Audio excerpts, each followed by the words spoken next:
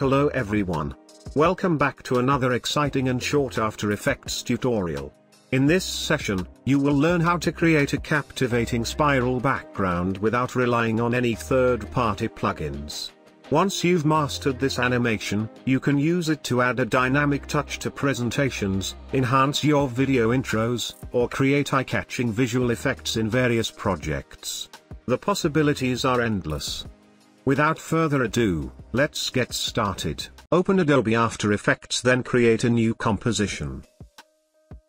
I am calling it Spiral Background Animation. I am using the same resolutions. 30 frames per second. And set the duration to 10 seconds.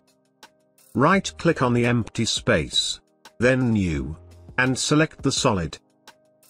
Rename the solid layer to the background. Go to Effects and Presets.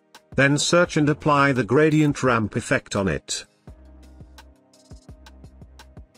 Let me change the start and end colors.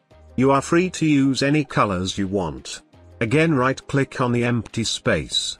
Then new, and select the solid.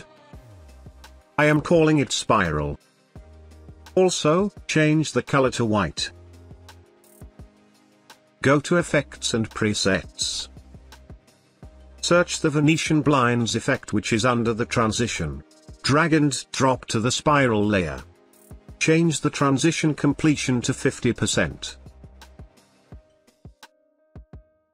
And change the width to 148.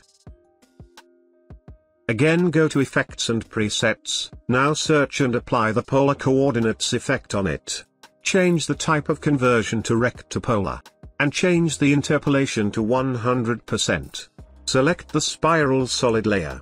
And press the S key to open Scale Properties.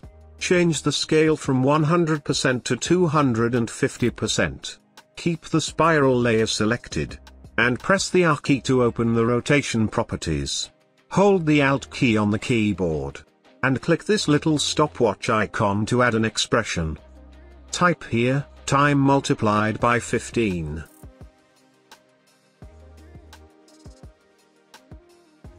Let's see the preview. Cool. Looks good to me.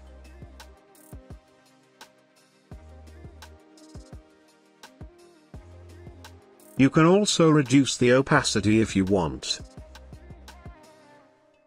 Also you can decrease the spiral width by increasing the transition completion value. Let's add the twirl effect on it. Go to the projects section. Select the composition. And press Ctrl plus D to make it duplicate. Double click on the duplicated composition. Select the background layer. And disable the gradient ramp effect. Select the spiral layer. Go to Effects and Presets. Search and apply that twirl effect on it.